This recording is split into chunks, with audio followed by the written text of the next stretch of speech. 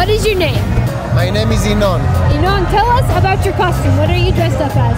Uh, look like uh, Paro. Paro, yes. Yeah, very good uh, custom. Yeah. What do you like about Purim? I like uh, when everyone uh, change their uh, mind, change everyone happy, everyone hugging each other. It's very good. Uh, That's very